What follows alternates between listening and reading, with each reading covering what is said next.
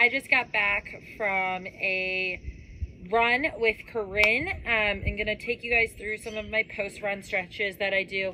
So whenever I get back from a run, first thing I'll do is I'll lay on the ground and I'm just gonna pull my le my leg over my other leg and then I'll rotate and do the same over this way.